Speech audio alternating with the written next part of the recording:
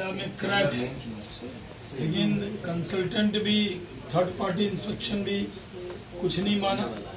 Design भी इसी का। ये एक बड़ा नेक्सस है।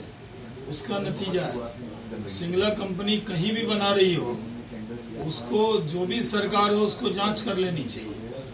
क्योंकि अगर एक बार वो, दो बार, तीन बार गड़बड़ी हो गई तो अगर बनता हुआ पुल गिर गया तो चलता हुआ पुल कभी गिर गया तो क्या होगा? क्योंकि जिस तरह ताश के पत्ते की तरह पुल ढा है, ये बहुत दुर्भाग्यपूर्ण है। इसलिए बिहार में खुद माना है बिहार सरकार ने कि इसमें पीछे भ्रष्टाचार है। तो भ्रष्टाचार का क्या इलाज होगा? मोरबी में पुल गिरा था तो जो जिसको मिला था चलाने के लिए मेंटेनेंस के लिए उस पर एफआईआर हुआ, कार्रवाई हुई। अभी तक सिंगला पर कहा कोई कार्रवाई हुई?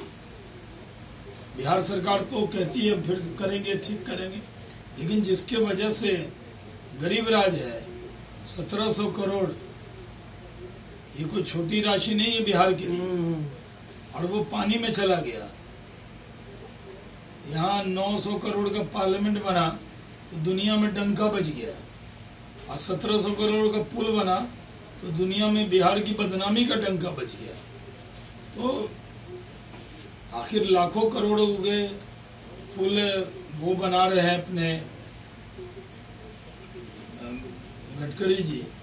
उसमें कोई शिकायत नहीं आ रही, लेकिन इस कंपनी को एनएचआई हो या यूपी गवर्नमेंट हो या अन्य गवर्नमेंट हो, जहाँ भी ये पुल बना रहा है, उसकी पूरी तरह पड़ताल कर लेनी चाहिए।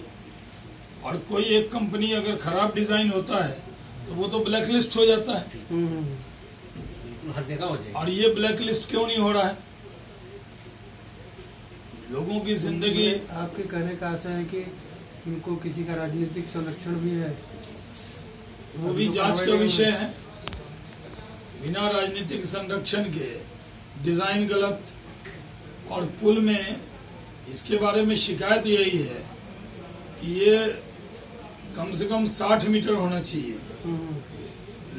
अंदर डेप्थ और चौड़ाई में भी ये डिज़ाइन गड़बड़ कर देता है और गहराई में भी डिज़ाइन में गड़बड़ कर। और कोई पत्रकार या नेता अंदर 60 मीटर कहाँ से घुस के देखेगा?